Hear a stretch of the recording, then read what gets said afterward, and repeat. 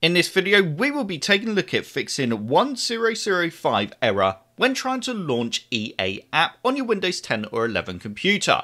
So this error code is actually a network issue error and usually it's actually more down to your computer rather than an issue with the EA services.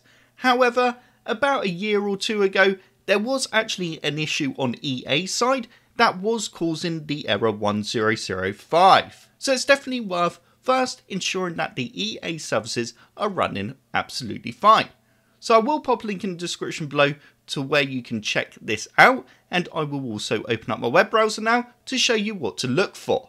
So the first link will take you over to EA Help's Twitter page. Just have a scan through this Twitter page just to ensure that there currently isn't any server maintenance or anything like that that could cause the 10005 error.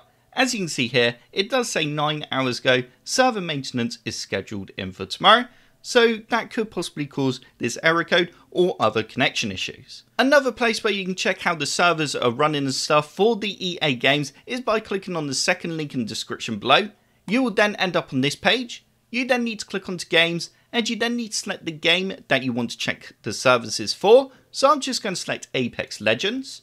Once it's loaded at the top here, you can see server status, and you can see that it's currently green, which means that it's all good. It's running absolutely fine on PC, Nintendo Switch, Steam, Xbox One, and PlayStation 4.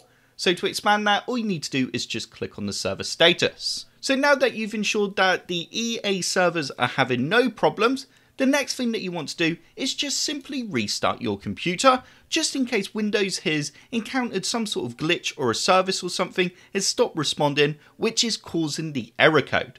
Also, by restarting, we'll just give everything a nice refresh. So go ahead and do that, and then try the EA app again and see if it allows you to log in. If it doesn't and you still get that error code when logging in or trying to launch a game, the next thing that you want to do is open up the start menu and you now need to type in CMD. You then need to right click on command prompt and go run as administrator. Once command prompt's open, you now need to type in ipconfig and you then need to do a space forward slash flush DNS.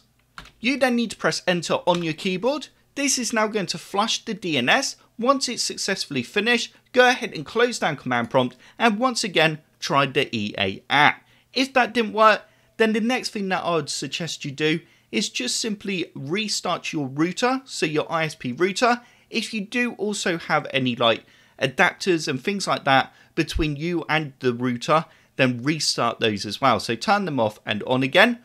Also, it's worth keeping in mind that when you do restart your ISP router, it will also remove everyone else from the internet. So just make sure everyone knows that you're about to restart the internet.